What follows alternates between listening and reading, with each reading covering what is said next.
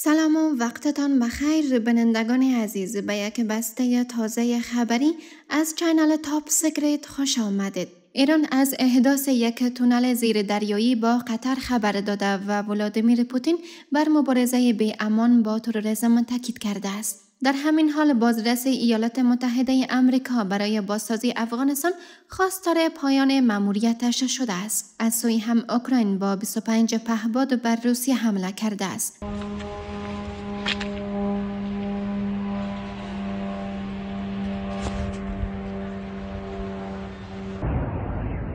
در همین حال روسیه پیمان تازه را با کره شمالی امضا کرده است.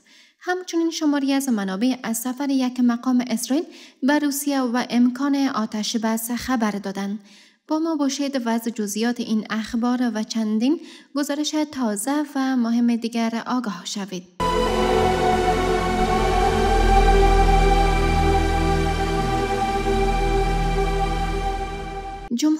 اسلامی ایران از احداث یک تونل زیر دریایی با قطر خبر داده است.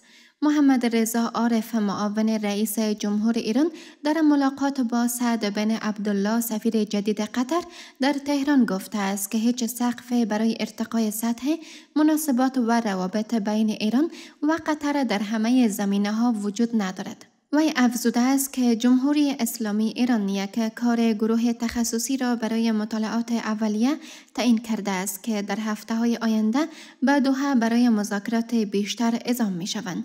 این مقام ایرانی علاوه کرده و گفته است که امیدواریم تا توافقات انجام شده در سفر رئیس جمهور ایران به قطر هرچه سریعتر نهایی و اجرایی شود. قطر و ایران امروزه با یک موازنه بسیار مثبت به سوی قطر در حال تدارک اقدامات استراتژیکی و اقتصادی خودشون هستند. همزمان با این مشاور امنیت ملی عراق در گفته های تازه با یک تن از مقامات ایرانی گفته است که به هیچ کشور اجازه نمی دهد تا از خاک عراق بر ضد ایران استفاده نماید وی افزوده است که نه تنها این موضوع در مورد جمهوری اسلامی ایران صادق است بلکه از خاک عراق بر علیه هیچ کشور منطقه استفاده نخواهد شد و عراق اجازه نخواهد داد. از سوی هم و در حالی که شماری از منابع غربی مدیند که شیخ نعیم قاسم در تهران ایران به سر می‌برد و از ترس اسرائیل فرار کرده است اما رسانه های ایرانی مدعی شدند که دبیر کل حزب الله لبنان در میدان جنگ حضور دارد. این مجاهدت ها که امروز به حمدالله با قوت و قدرت تداوم داره هم در لبنان هم در غزه پیروزی جبهه مقاومت رو به دنبال خواهد داشت. شیخ نعیم قاسم بر ادامه درگیری با اسرائیل تاکید کرده و گفته است که راه سید حسن نصرالله را ادامه خواهد داد. شماری از سربازان حزب الله نیز با ارسال نامه به دبیر کل حزب الله لبنان گفتند که دست راست وی و اجرا کننده تصمیمات و وعده های او خواهند بود.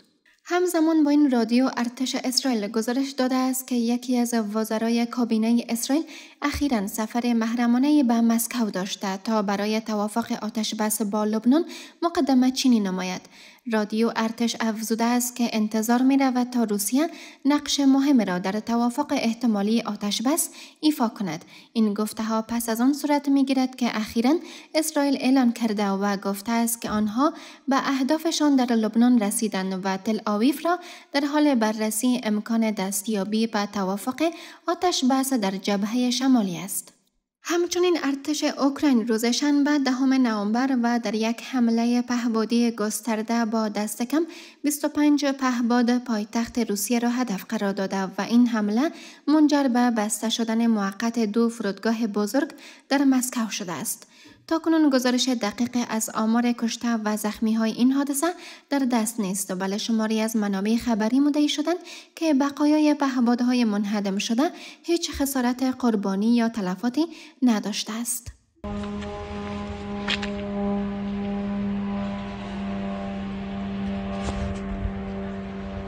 در همین حال دستیار ارشد دونالد ترامپ رئیس جمهور منتخب امریکا در مصاحبه گفته است که اولویت دولت جدید این کشور در اوکراین برقراری صلح خواهد بود نه بازگرداندن سرزمین هایی که از سوی نیروهای روسیه تصرف شدند و افزوده است که قسمتی از اوکراین از دست رفته است و اولویت دولت آینده امریکا در اوکراین برقراری صلح و توقف کشتار در این کشور است.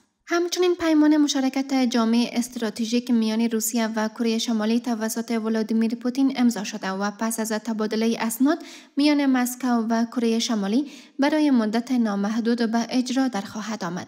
این سند پیش بینی می کند که در صورت وقوع تجاوز به هر یک از کشورها مسکو و پیونگیانگ به یکدیگر کمک خواهند کرد سخنگوی کرملین گفته است که این پیمان روابط روسیه و کره شمالی را توسعه خواهد داد. همزمان بین ولادیمیر پوتین رئیس جمهوری روسیه بر مبارزه بیرحمانه با تروریسم افراطگرایی قاچاق مواد مخدر و مهاجرت غیر قانونی تاکید کرده است. رسانه تاس خبرگزاری دولتی روسیه روز یکشنبه دهم نوامبر گزارش داده است که پوتین خطاب به افسران این کشور گفته است که امروز شهروندان روسیه از شما در همه زمینه های کلیدی مبارزه بیرحمانه با جنایت مقابله سخت با تروریسم قاچاق مواد مخدر مهاجرت غیر قانونی و افزایش سطح ایمنی جاده ها را انتظار دارند.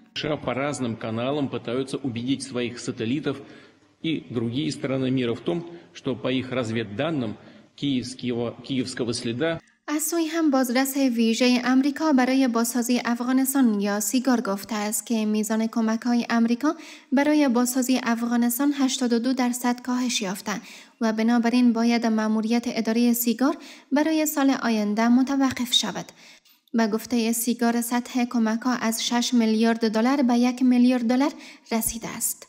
در همین حال مولوی عبدالکبیر معاون سیاسی رئیس الوزراء خواستار کمک اتحادیه اروپا برای مبارزه با مواد مخدر در افغانستان شده و گفته است که نظام تازه در افغانستان می‌خواهد تا با همه کشورها روابط خوب داشته باشند. ارگ در خبرنامه این دیدار را سودمند عنوان کرده است. همچنین عبدالمتین قانه سخنگوی وزارت داخله از گزمه های پلیس سیار در ولایت بغلان خبر داده است. و افزوده است که این اقدام به منظور تامین امنیت هرچه بیشتر شهروندان بغلان صورت گرفته است. و خبر اخیر این که سخنگوی وزارت خارجه امارات اسلامی اعلان کرده است که هیئت آنان در نشست سازمان ملل درباره تغییرات اقلیمی در باکو شرکت می کند عبدالقهار بلخی سخنگوی وزارت خارجه گفته است که این نشست از 11 تا 22 نوامبر در باکو برگزار می شود. گفتنی است که این اولین بار است که هیئت امارت در نشست تغییرات اقلیمی ملل متحد حضور می یابند. دوستان عزیز به پایان برنامه کنونی رسیدیم. از اینکه تا این دم با ما همراه بودید سپاس گذاریم. تا سلامی دیگر الله نگهدار.